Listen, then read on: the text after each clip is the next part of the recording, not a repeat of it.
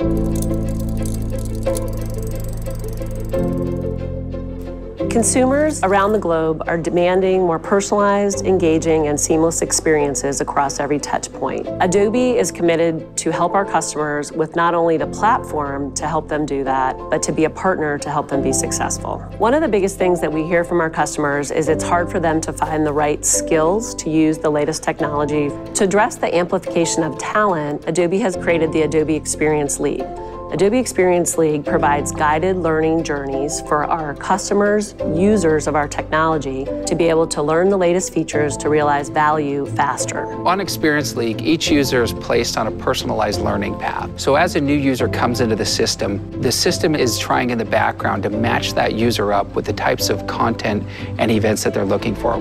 We want to use personalization to help them find the next best course for them. One example of that is as a customer's looking at, say, a list of upcoming events, that can serve us to really give them that relevant content that they might have missed in a list of content. Initial feedback from our customers has been really positive.